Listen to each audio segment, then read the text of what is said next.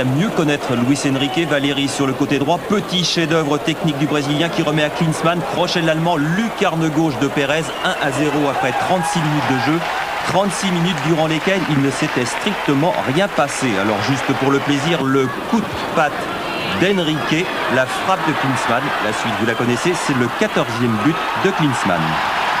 1 à 0, ça rebelote quelques instants plus tard sur le flanc gauche.